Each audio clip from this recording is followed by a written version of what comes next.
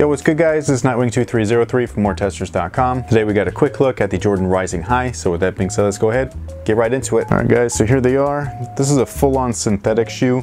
So what that means is that the entire upper here is a synthetic base or a synthetic leather. And then this little piece right here at the toe or the tip of the toe is actually a fuse. Now with synthetic materials, it's gonna take a longer time to break them in, but they're gonna be very durable and they don't stretch much. So better containment, they'll last a little bit longer. And again, the only cons to the material is really that they just take a little bit of extra time to break them in. These feature fly wire along the lacing system, as well as what looks to be a Nike Torch material at the collar, as well as the tongue. This stuff is super comfortable. It's also breathable. I wish that they would put this type of material on more sneakers. An interesting feature that they have is the dual outriggers right here at the heel, and then they have this mini one right here at the forefoot. The midsole is Phylon with the flight speed system, so you got that unlock forefoot zoom air right there. And for those of you that don't quite understand what unlock zoom air is, I'm going to tell you what it is right now. Basically, Zoom Air is inside of midsoles, you know what I'm saying? So whatever midsole shape there is, they core out the section or the shape where the Zoom Air is going to be.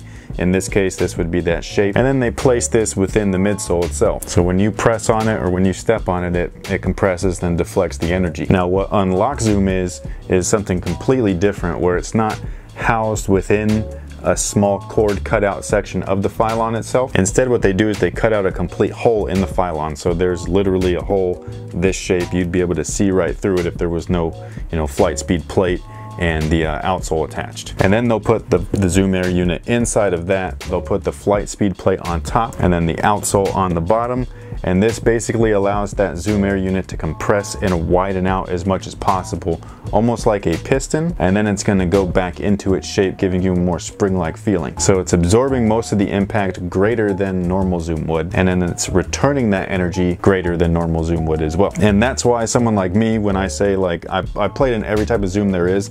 Unlock zoom is my favorite. It just feels the best. That's why, it's because it's doing the most. It's reacting the most to your pressure or your movements. So if you see a shoe like this for $30 at an outlet, grab the shoe. You're gonna thank yourself. Trust me. Quick look at the traction pattern. You got this diamond cut right here. This stuff looks like it's gonna be awesome. I've played in something similar in the Jordan 14.5 and it worked really well both indoors and outdoors, not really affected by dust much.